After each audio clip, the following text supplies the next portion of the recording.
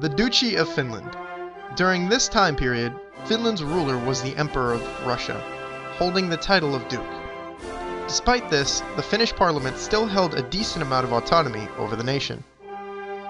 This period extended for several decades with very few advancements taking place. The Kingdom of Finland. At some point between the years of 1880 to 1890, the Empire of Russia signed an act allowing for each of its client states to finally establish their own separate kingdoms.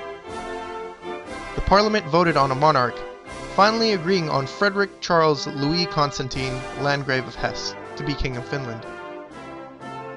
The only problem was, Frederick was too young to be king. His eldest brother had died mysteriously in a horse riding accident, and his second eldest brother, Alexander, abdicated as Landgrave the year before. Despite these conditions, Alexander still volunteered to rule as regent until Frederick was old enough to become king. The Emperor of Russia's act led to the establishment of the Kingdom of Finland in 1887. King Karl I. The first and only king of Finland, this period saw many great strides in Finnish technology and military accomplishments. Furthermore, Finland participated in several wars and conflicts, the kingdom went to war twice with Sweden over a myriad of border conflicts until the disputes were finally settled in 1892. The Kingdom of Finland also participated in a minor conflict with various different tribes in Africa after claiming land during a colonial conference in 1893, as well as purchasing land from Portugal in 1895. The Kingdom of Finland had also expanded its navy after purchasing several ships from Denmark and other nations.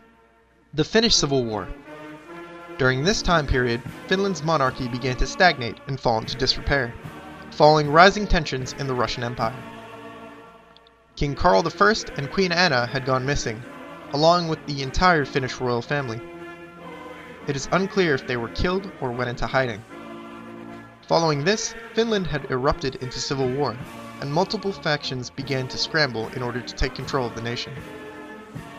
General Carl Gustav Emil Mannerheim succeeded in destroying other factions, and with outside help from Russia's newly established government, he held power as the president of Finland.